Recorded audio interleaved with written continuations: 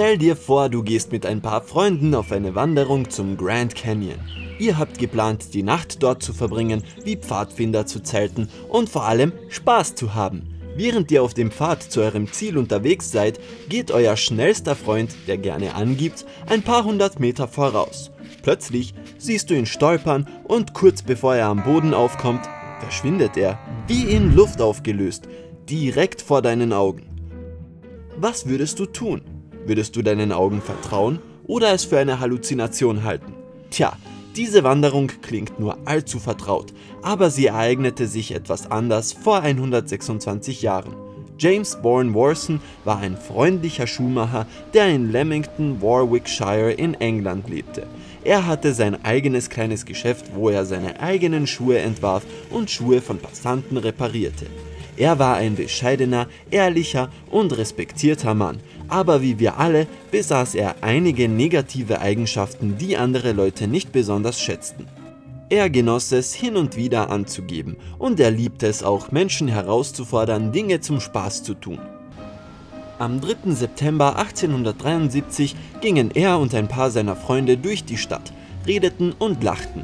Plötzlich kam James die Idee in den Kopf, ein Spiel zu spielen. Da er ein Mann war, der ständig nach Anerkennung suchte und Aufmerksamkeit liebte, ließ er sich eine hervorragende Idee einfallen, um seine Dosis Bestätigung zu ernten. Siehst du, er war auch ziemlich sportlich und das bedeutete, dass er die Fähigkeit hatte, seine körperlichen Fähigkeiten zur Schau zu stellen, um die Stadtbewohner zu beeindrucken. Er beschloss, einen Wettkampf gegen die Natur zu führen. Dieser lautete seine Stärke und sein Wille gegen die Erfolgschancen. Was bedeutet das? Nun, er wurde von einem seiner Freunde herausgefordert, von Leamington nach Coventry zu laufen und dann den ganzen Weg zurückzulaufen. Das war auch keine leichte Aufgabe, da die Strecke, die er zu bewältigen hatte, etwa 32 Kilometer betrug. Um es dir vor Augen zu führen, er hätte sechs Stunden gebraucht, um die ganze Strecke zu gehen. Und mal angenommen, er wäre um die 11 Kilometer pro Stunde gerannt, bedeutete das, dass er mehr als drei Stunden gebraucht hätte, um seine Reise zu Ende zu führen. Nein, er war kein Superman und er durfte regelmäßig Pausen einlegen, um zu verschnaufen. Da er vor keiner Aufgabe zurückscheute, schaltete sich sein Mut ein und seine Antwort lautete Herausforderung angenommen. Obwohl er zuversichtlich war, dass er es schaffen konnte, hatten seine Freunde ihre Zweifel. Ich meine, er hätte problemlos in die ländliche Gegend außerhalb von Leamington laufen, ein paar Stunden dort sitzen und dann zurücklaufen können und dann so tun, als sei er erschöpft und außer Atem. Um also sicherzustellen, dass dies nicht der Fall war, beschlossen seine Freunde ihm zu folgen. Sein Herausforderer, dessen Name noch immer ein Rätsel ist, stieg in den hinteren Teil der Karre neben seinen beiden anderen Freunden. Barham Weiss, dem Leinenhändler, und Hammerson Burns, dem Fotografen. Und dann begann das Rennen. James Warson lief mit konstantem Tempo, während seine Freunde ihm auf Rädern folgten. Er schaffte es, mehrere Meilen leichten Schrittes hinter sich zu bringen, ohne auch nur müde auszusehen. Er ließ den Marathon wie ein Kinderspiel erscheinen. Seine Freunde hielten etwas Abstand, während sie ihm folgten, aber nicht genug, um ihn aus den Augen zu verlieren. Und gelegentlich hänselten sie ihn als Ermutigung weiterzumachen. Aber du weißt, was man sagt. Alles ist ruhig vor dem Sturm. James lief weiter. Seine Freunde waren etwa 10 Meter hinter ihm, mit den Augen auf ihn gerichtet, als plötzlich das Unerwartete geschah. Es schien, als sei James über etwas gestolpert und kurz davor zu stürzen. Als er kopfüber nach vorne fiel, stieß er einen lauten Schrei aus und verschwand wie in Luft aufgelöst. Er berührte nicht einmal den Boden, er war einfach verschwunden. Seine Freunde waren schockiert, sie konnten ihren Augen nicht trauen. Der Anblick ließ sie ihren eigenen Verstand in Frage stellen. Wohin könnte James nur verschwunden sein? Alle drei Freunde hielten an, stiegen aus der Karre aus und fingen an, nach ihm zu suchen. Sie wanderten durch das Gebiet, um zu sehen, ob sie ihn finden konnten. Vielleicht hatte er ihnen einen Streich gespielt, vielleicht war er nie da gewesen. Oder vielleicht hatte er sich teleportiert. Niemand konnte diesen Vorfall logisch erklären. Seine Freunde standen völlig unter Schock. Nachdem sie einige Zeit damit zugebracht hatten, ihn zu suchen, leider ohne Erfolg, traten sie ihre Reise zurück nach Leamington an. Als sie angekommen waren, begannen sie von dem unglaublichen Vorfall zu erzählen, den sie gerade erlebt hatten und erklärten, wie ihr Freund sich vor ihren Augen einfach in Luft aufgelöst hatte, als hätte er nie existiert.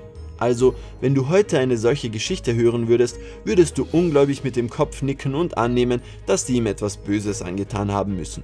Tja, das ist es auch, was die Behörden damals glaubten und sie wurden verhaftet.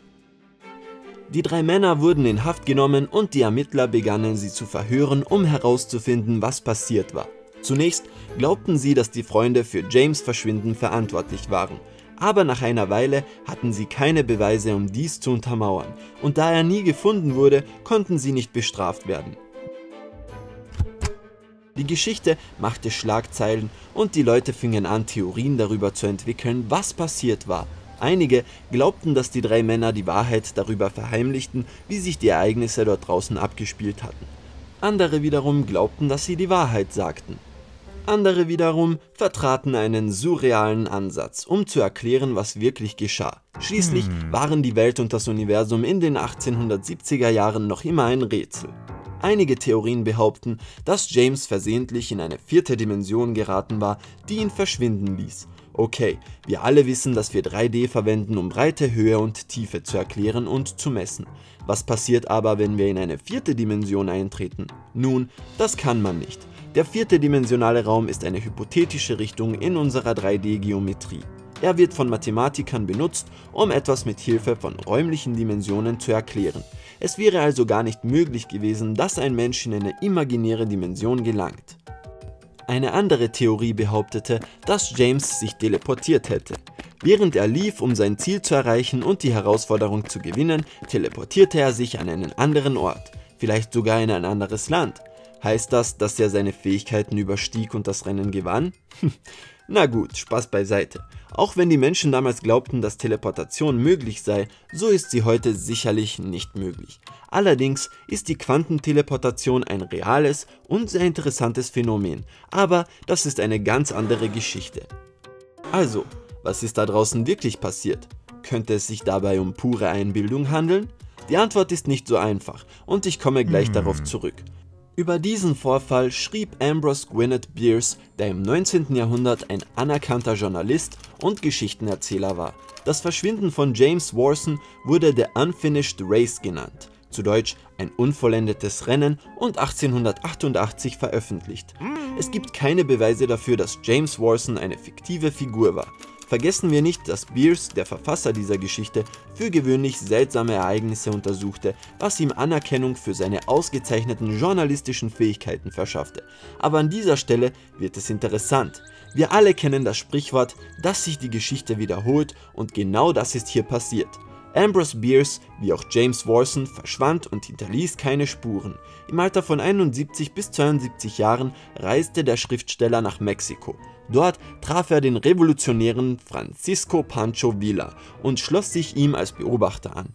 Am 26. Dezember 1913 schrieb Ambrose einen Brief an einen seiner engsten Freunde und Journalistenkollegen Blanche Partington. Er erzählte ihr all seine Abenteuer, wo er gewesen war und was er damals machte. Gegen Ende des Briefes schrieb er, was mich betrifft, so breche ich morgen auf in Richtung eines unbekannten Ortes. Das war das letzte Mal, dass man jemals wieder von ihm hörte. Es gab sogar eine offizielle Untersuchung zu seinem Verschwinden, bei der viele von Pancho Villas Männer befragt wurden, aber ohne Erfolg. Danach kursierte die Nachricht, dass Beers verschwunden sei und damit einhergehend tauchten viele Theorien auf. Eine davon behauptet, dass er zuletzt in der Stadt Chihuahua in Mexiko im Januar 1914 gesehen wurde. Eine weitere behauptet, dass er überhaupt nie in Mexiko gewesen war. Insbesondere eine Theorie deutet an, dass Ambrose Bierce diesen Brief überhaupt nie an seine enge Freundin geschickt hatte. Dies basiert auf die Tatsache, hm. dass sein Brief nie gefunden wurde. Das einzige, was existierte, war ein Notizbuch, das seiner Sekretärin gehörte. In diesem Buch fand man eine Zusammenfassung eines Briefes sowie die Aussage der Sekretärin, dass er vernichtet worden war, bevor er verschickt werden konnte. Die Geschichte kam immer mehr in Schwung Trotz der Fülle an verrückten Theorien da draußen, die darüber spekulierten, was mit dem Schriftsteller geschehen war, der sich in Luft aufgelöst hatte, genau wie seine literarische Figur James Byrne Warson, ist eines sicher, sein Schicksal ist nach wie vor von Geheimnissen verhüllt. Was denkst du, was mit dem Journalisten und mit dem Schuhmacher passiert ist? Glaubst du, dass der Autor im Namen seines Werkes verschwunden ist? Was ist mit den drei Männern in der Karre? Schreib mir deine eigenen Theorien in den Kommentarteil. Wenn du heute etwas Neues gelernt hast, dann gib diesem Video einen Like und teile es mit einem Freund. Aber hey, warte, portatelle dich noch nicht woanders hin. Ich meine, teleportiere dich nicht woanders hin. Wir haben noch über 2000 coole Videos für dich, die du dir anschauen kannst. Alles, was du dafür tun musst, ist das linke oder rechte Video auszuwählen, es anzuklicken und schon kann der Spaß beginnen. Bleib auf der Sonnenseite des Lebens.